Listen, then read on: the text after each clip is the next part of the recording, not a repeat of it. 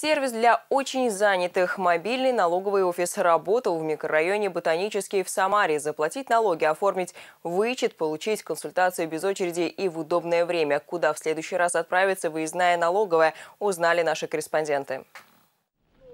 Не успеваю из-за работы, не хочу стоять в очереди, больше никаких отговорок от уплаты налогов. Специалисты приедут к вам сами. Мобильный офис снова на выезде. Субботним днем в микрорайоне Ботанический в Самаре. Здесь много новостроек, в них в основном живет работающая молодежь, читай налогоплательщики, которым не всегда удобно тратить время на посещение инспекции. А здесь можно и просто проконсультироваться по интересующим вопросам, или же сразу подать декларацию и заплатить налоги. Обязанности у плательщиков возникают в случае получения дохода от продажи имущества земельных участков транспортных средств, акций, иных ценных бумаг, также сдачи в аренду объектов, также интересуют вопросы по предоставлению налогового вычета. Подобные выездные приемные не разовая акция, а новый региональный проект. Автобусы с символикой ФНС выезжают в различные города и районы области. Два раза в месяц по выходным. Услугами воспользовались жители Южного города, Волгаря. Если же кто-то привык все вопросы решать онлайн, специалисты помогут получить доступ к электронной системе «Личный кабинет налогоплательщика». Ну, регистрация очень простая на сайте налог 163.ру.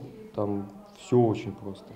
Там, если есть у вас паспорт, у вас есть, есть ННН, там за регистрация займет 5 минут, не больше. А спектр вопросов очень широкий. У меня, к примеру, это вот первый опыт по налоговому вычету. Так можно делать ну, любой вопрос.